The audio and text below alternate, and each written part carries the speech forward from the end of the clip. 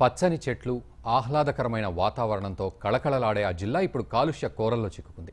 పారిశ్రామిక అభివృద్ధి పేరుతో పరిశ్రమలు ఏర్పాటు కావడంతో ఆ జిల్లాలోని తీర ప్రాంతాలతో పాటు నగరాలు సైతం కాలుష్యానికి బలవుతున్నాయి.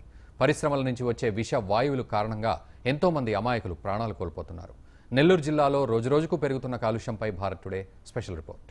నవ్యాంధ్రలో పారిశ్రామికంగా శరవేగంగా అభివృద్ధి చెందుతున్న జిల్లా నెల్లూరు జిల్లా. అదే స్థాయిలో కాలుష్య కోరల్లో కూడా ఈ జిల్లా చిక్కుకుందని చెప్పుకోవచ్చు. ప్రధానంగా తీర ప్రాంతాల్లో చోటు చేసుకుంటున్నటువంటి పరిణామాలతో స్థానిక గ్రామాల ప్రజలు అతలాకుతలం అవుతున్నారు ఇక్కడ ఏర్పడినటువంటి ఏదైతే పవర్ ప్రాజెక్టులు కావచ్చు ఇతర పరిశ్రమలు కావచ్చు వీటి నుంచి వచ్చే కాలుష్యం వల్ల స్థానిక గ్రామాల్లో ఉన్నటువంటి ప్రజలు రోగాల బారిన పడుతూ సరైన వసతులు లేక అదేవిధంగా అక్కడ ఉన్నటువంటి మంచినీరు దొరక అష్ట కష్టాలు పడుతున్నారు. ఇంతకీ జిల్లాలో ఏర్పడినటువంటి కాలుష్య శాతం ఎంత? కాలుష్య కోరల్లో చిక్కుకున్న ప్రజలు ఏమంటున్నారు? అసలు నెల్లూరు జిల్లాలపై కాలుష్య భూతం ఏ విధంగా చూస్తుంది? ఇప్పుడు తెలుసుకునే ప్రయత్నం చేద్దాం. నెల్లూరు జిల్లా పచ్చని పొలాలతో ఏడాదికి మూడు పంటలు పండుతూ ఆహ్లాదకరమైన వాతావరణంలో ప్రశాంతతకు మారుపేరుగా చెప్పుకునే జిల్లా. ఇదంతా ఒకప్పటి మాట. ప్రస్తుతం ఈ జిల్లాను కాలుష్య భూతం పట్టుకుంది. పారిశ్రామిక అభివృద్ధి పేరుతో ఏర్పాటు చేసిన పరిశ్రమలు పల్లెవాసుల ప్రాణాలను హరిస్తున్నాయి పచ్చని చెట్లు నిట్ట నిలువున మాడి మసైపోతున్నాయి.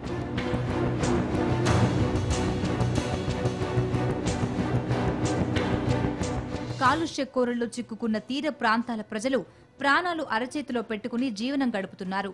బిక్కుబిక్కుమని రోజులు గడుపుతున్న తీర ప్రాంత వాసుల వెతలు తెలుసుకునేందుకు జిల్లాలోని ముత్తుకూరు మండలంలోని పదహారు గ్రామాలను భారత్ టుడే ప్రత్యేకంగా సందర్శించింది.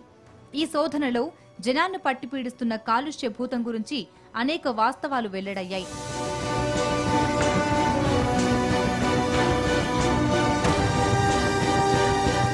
నవ్యాంధ్రప్రదేశ్ కొత్తగా ఏర్పడ్డాక పారిశ్రామికంగా రాష్ట్రాన్ని అభివృద్ధి చేసుకునేందుకు నెల్లూరు జిల్లా అన్ని విధాలా సరిపోతుందని ప్రభుత్వాలు అంచనా వేశాయి.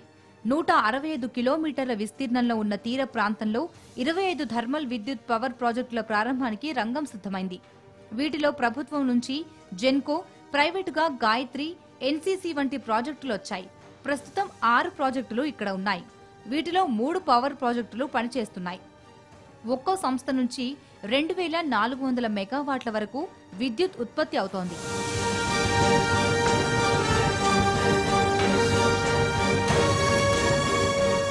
ప్రభుత్వ రంగ సంస్థ అయిన జెన్కో నుంచి ప్రస్తుతం పదహారు వందల మెగావాట్ల ఉత్పత్తి జరుగుతోంది.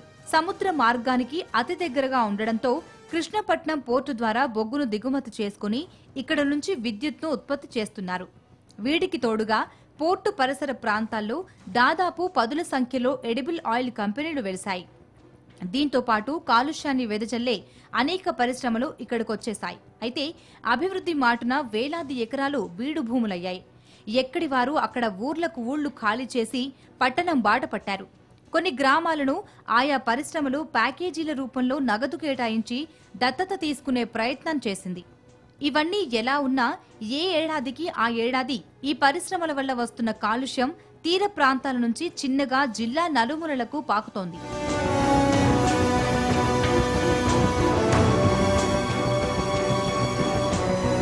ప్రధానంగా తీర ప్రాంతాల్లో ఉన్న థర్మల్ పవర్ ప్రాజెక్టుల నుంచి వస్తున్న కర్బన వాయు రసాయనాలు గాలిలో కలిసిపోతున్నాయి. కృష్ణపట్నం పోర్టుకు బొగ్గు దిగుమతి అవుతోంది. కొన్ని ప్రాజెక్టులకు కన్వేయర్ల ద్వారా బొగ్గు సరఫరా అవుతోంది. మరికొంత బొగ్గు పోర్టులోనే నిల్వ ఉంటుంది. కన్వేయర్ల ద్వారా కొంత బొగ్గు రవాణా అయితే దాదాపు రోజుకు వంద లారీలు ట్రక్కుల ద్వారా బొగ్గును తోలుతుంటాయి.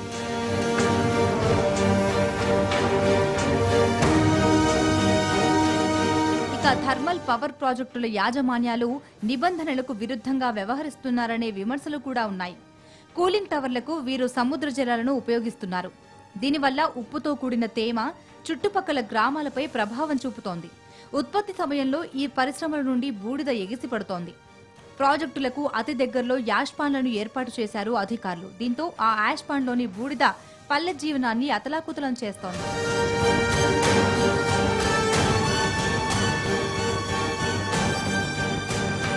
యాష్ పాండ్ల యాష్ ఇళ్ళన్నింటినీ బూడిదమయం చేస్తున్నాయి. పచ్చని చెట్లు పొలాలు బూడిదతో నిండిపోతున్నాయి. ఉప్పుతో కూడిన తేమ చెట్ల వల్ల స్థానికులు తీవ్ర ఇబ్బందులకు గురవుతున్నారు. ప్రస్తుతం మనం చూస్తున్న ఈ తాటి చెట్లు కొన ఊపిరితో ఉన్నాయి. బూడిద ఉప్పు తేమ కలిసి పడడంతో మలమల మాడిపోతున్నాయి. పచ్చని భూములు బీడు భూములుగా మారిపోయాయి. కొన్ని ప్రాంతాల్లో తమ పొలాలను రైతులు రొయ్యల గుంతలుగా మార్చేసి సాగు చేసుకుంటున్నారు. ఆ రొయ్యలు సైతం కౌంట్ తగ్గిపోయి అనారోగ్యానికి గురై నష్టాలను చవి చూపిస్తోంది. గతంలో ఈ తీర ప్రాంతంలో నలభై అడుగుల లోతులో స్వచ్ఛమైన మంచినీరు దొరికేది. అయితే ప్రస్తుతం వంద అడుగులు తవ్వినా ఉప్పు ఊట తప్ప ఇంకేమీ రావడం లేదని రైతులు ఆవేదన చెందుతున్నారు. ఆ స్థాయిలో భూగర్భ జలాలు అడుగంటిపోయాయి.